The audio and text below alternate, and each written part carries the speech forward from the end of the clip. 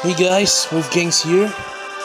And as you can see, you always lucky relic draw round 2 or phase 2 is here.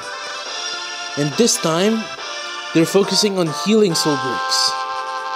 Well, I already have plenty of healing soul breaks, but it's half price, so yeah, I'll take this chance to pull what I need. Holy shit. You know in the previous didn't promise any ultra. Well, actually they did promise any like ultra soul break, but it's not in their list. Right now, I see like ultra soul breaks. I already have this one, conductor. I'm aiming for Hermes suit. Since I already have Penelo in level 99, might as well make her stronger. And yeah, Fairy Tail uh, for FF8. Cause well, I haven't I haven't leveled Selphie to 99, but still, it'll be nice to have that. And Umbrella FF7. I don't have like an, an FF7 healer. Like, well, there's Aerith, but I don't have any Soul Break for her yet, so it'll be nice to have.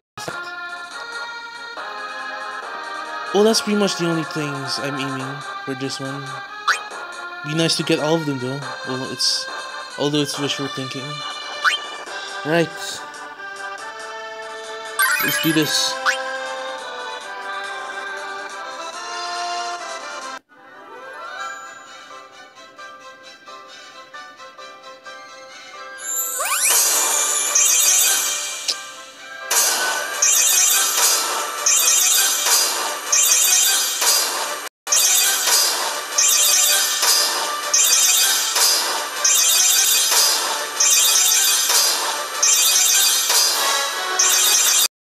Okay.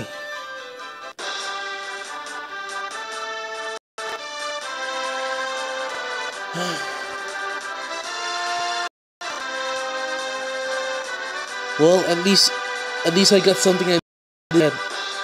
And this is my second, second Super Soul break for the But still, most of, most of these are are crap. Ugh. Oh well. But you know what? I think I should start saving my Thrill Festival Relic Draw. I mean the Summer Relic Draw Festival, which is coming soon. So, and I, I also heard that like the first Final Fantasy 15 Overstrike will be featured in the second phase of said Relic Draw Festival. Okay. So yeah, I'll see you there.